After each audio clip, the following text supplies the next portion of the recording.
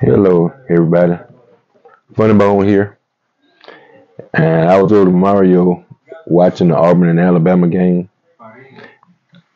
It came down to the last four minutes, and I had told Mario they're going to mess it up. Auburn's going to mess it up, and they did.